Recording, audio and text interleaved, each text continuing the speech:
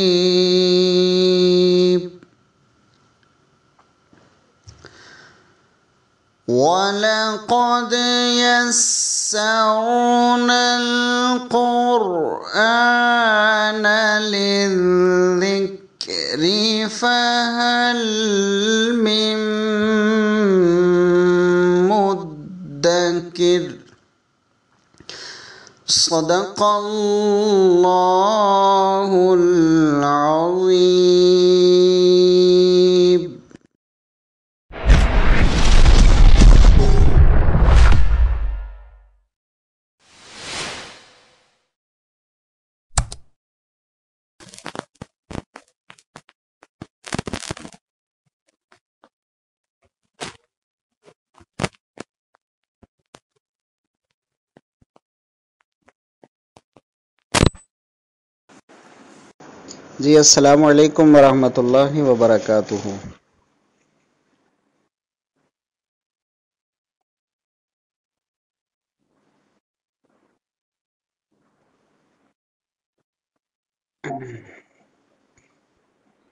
जी तो सूरह अल बकरा की आयत दो सौ सताठ से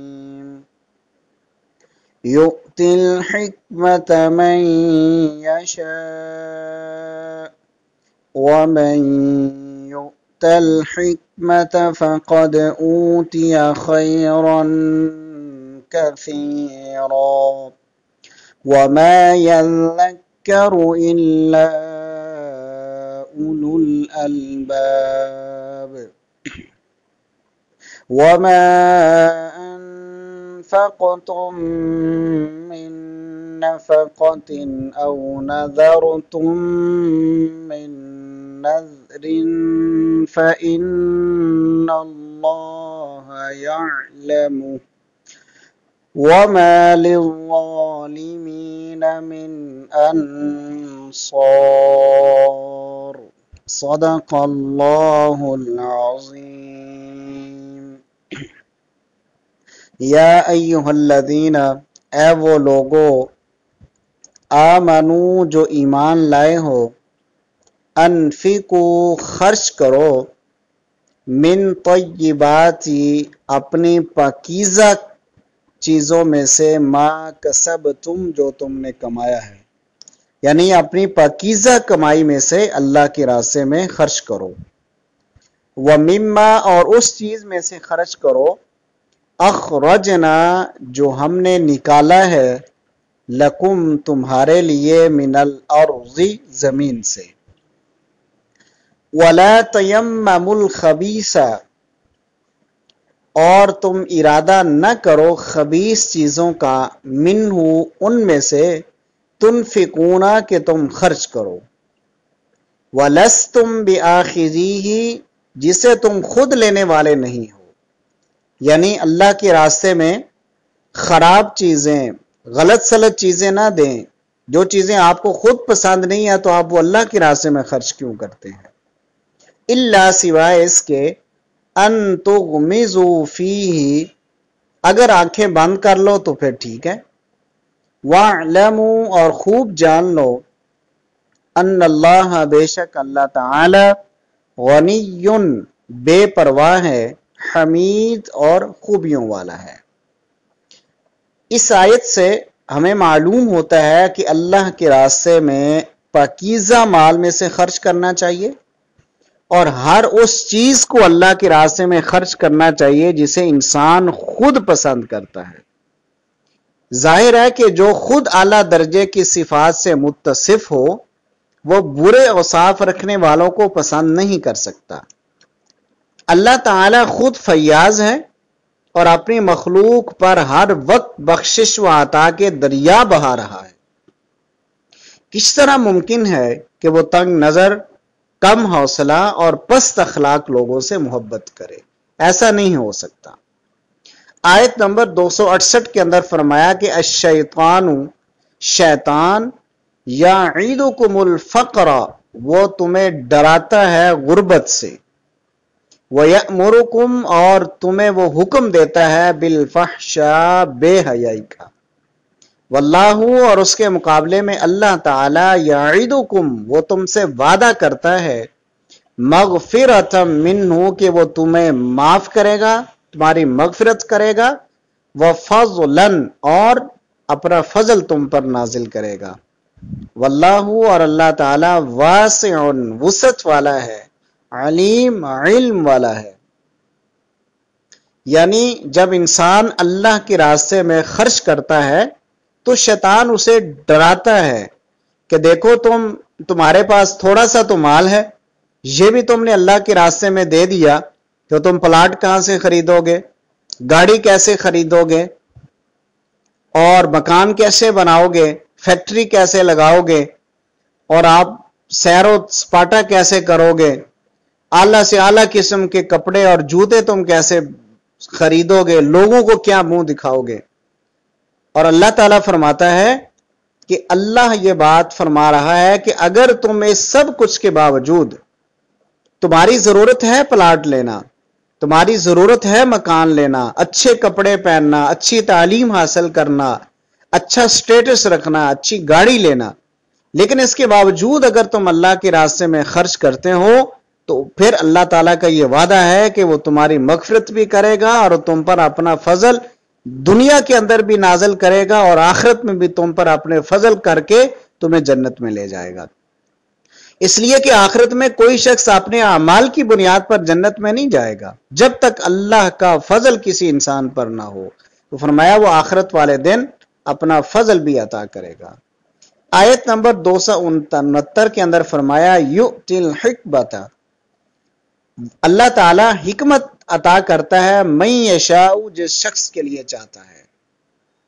और वमई यु तल वमन और जिस शख्स को यु तल हिकमत हिकमत अल्लाह की तरफ़ से दे दी गई, फ़कद पस तहकीक, ऊत या उसे दे दिया गया है, खैरन कसीरा, बहुत सारी भलाई दे दी गई।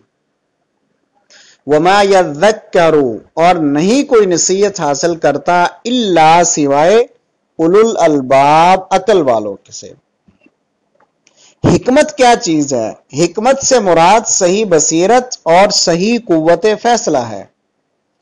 इस इर्शाद से मकसूद ये बताना है कि जिस शख्स के पास हिकमत की दौलत होगी, वह हर गिस शैतान की बताई हुई राह पर न चलेगा। बल्कि उस राह कुशादा को इख्तियार करेगा जो अल्लाह ने दिखाई है। शैतान के तंग नज़र मुरीदों की निगाह में यह बड़ी होशियारी और अक्लमंदी है कि आदमी अपनी दौलत को संभाल संभाल कर रखे और हर वक्त मजीद कमाई की फ़िक्र ही में लगा रहे। लेकिन जिन लोगों ने अल्लाह से बसीरत का नूर पाया है, उनकी नज़र में यह आयन बेवकूफ़ी है। हिकमत दनाई उनके नज़दीक ये है कि आदमी जो कुछ कमाए, उसे अपनी मुतवसत ज़रूरियात पूरी करने के बाद दिल खोल कर भलाई के कामों में खर्च करे। पहला शख्स मुमकिन है कि दुनिया की उस चंद रोजा ज़िंदगी में दूसरों की बारिश्वत ज़्यादा खुशहाल हो, जो अल्लाह के रास्ते में नहीं खर्च करता।